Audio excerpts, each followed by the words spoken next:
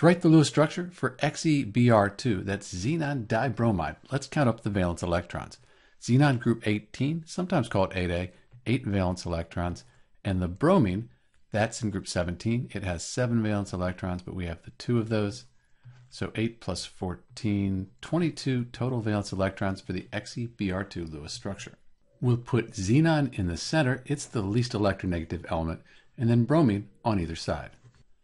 We'll place a pair of electrons between each of the elements to form a chemical bond, and then we'll go around and complete the octet on the bromines. Next, we'll complete the octet on the central atom.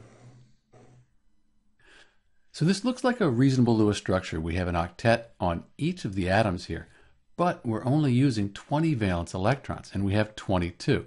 So we need to find a place for those remaining two valence electrons. Xenon can have an expanded octet, so we could place those extra electrons here on the central xenon.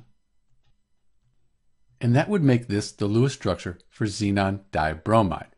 Each bromine has an octet, and then that xenon in the center, it has an expanded octet, more than 8 valence electrons, but that's okay.